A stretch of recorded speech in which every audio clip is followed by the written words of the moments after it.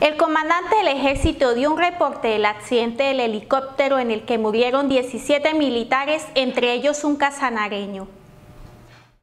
Se trata de Mauricio Fernández Rincón, natural de Sabana Larga, quien llevaba 16 años en la compañía de salvamento y rescate en combate.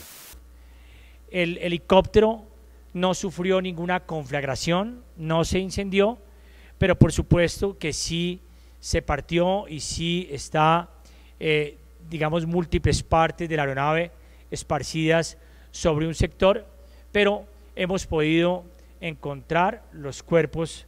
Las chivas del llano meten las narices en todo.